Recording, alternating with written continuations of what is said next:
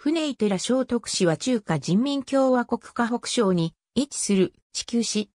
世界遺産に登録された寝台の離宮である、秘書山荘や外八秒を有する国家歴史文化名城である。聖徳市は河北省東北部に位置し、首都北京から250キロの距離にある。円山山脈の涼しい高原地帯にあり、民進の昔から避暑地として有名であった。西南は北京、西は河北省カルガン口、北は内モンゴル自治区、東は遼寧省旭、南は河北省、新高島及び東山と接する。地域は下水系に属する。総人口約340万人の内満族、モンゴル族、海族、朝鮮族などの少数民族約130万が住み、3カ所の自治権を設置する。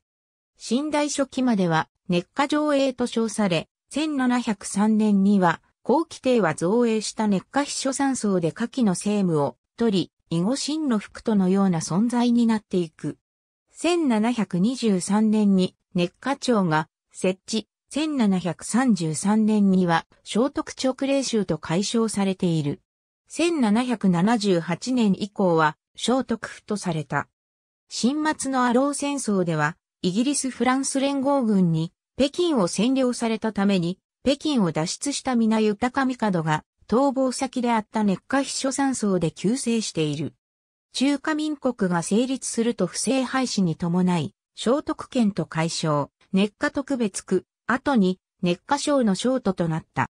1933年には関東軍による熱火侵攻作戦が行われ、3月に聖徳は占領された。